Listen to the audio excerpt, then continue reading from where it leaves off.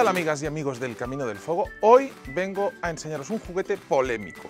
Y diréis, ¿polémico por qué? Pues porque el mundo de los que trabajamos con camadas se divide en tres grupos, básicamente. Los que aman este juguetito, que es el Flamebows, y que consideran que les da el punto de perfección.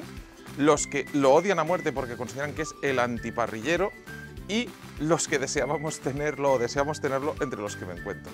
¿Qué es el Flamebows? El Flamebows es un aparato que os lo voy a ir sacando. Esta es la versión 4, ¿de acuerdo? Hay una más pija porque tiene pantallita, pero para un ciego que tenga pantalla, pues como comprenderéis, no aporta. ¿Qué es básicamente? Un aparatejo que lleva su alimentador, es el único problema que le veo, que hay que enchufarlo a la corriente y eso pues complica un poco. Dos sondas, mirad, una y dos, ¿de acuerdo? Y esto, que es un ventilador que se conecta a nuestro camado. ¿Para qué sirve? Pues básicamente tú programas este cacharrito desde el móvil, que es una de las gracias que tiene, que es Wi-Fi, te conectas en remoto y le dices, oye, que quiero hacer, yo qué sé, un asado. Quiero que la temperatura exterior esté a 90 grados y quiero que la temperatura de la carne llegue a 70, por poner un ejemplo. Resultado, la maquinita piensa, bueno, la maquinita lo dudo, pensaron los ingenieros, se dedica a organizarse y va soplando justo para que el carbón se mantenga en la temperatura estable, es decir, dejas de tener que mirar el camado. Los que están a favor dicen que claro que esto es la tranquilidad absoluta, pues si tienes un asado largo, long and slow, pues chico, lo pones y te vas a la cama, te olvidas de él. Los que aman lo de menear las brasas, salir a mirar, dicen que esto es el antitodo. Yo realmente creo que si se inventó la rueda fue para que las cosas no hubiera que arrastrarlas.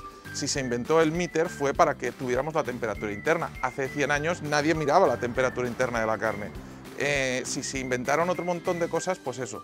Al final, si lo veis por dentro, aquí tiene un ventiladorcito que va girando, o sea, es el mecanismo el chupete, eh, un enchufe aquí detrás, aquí, para poder enchufar y los dos enchufes de los termómetros y si veis aquí los termómetros, este es de pinza, se pincha en la parrilla para que nos dé la temperatura exterior y este es de sonda y se pincha en la pieza que hay que ver la temperatura interior. Además son los repuestos, es lo único que hay que agradecerles, son baratos. El aparato vale una pasta y además se compra por Amazon.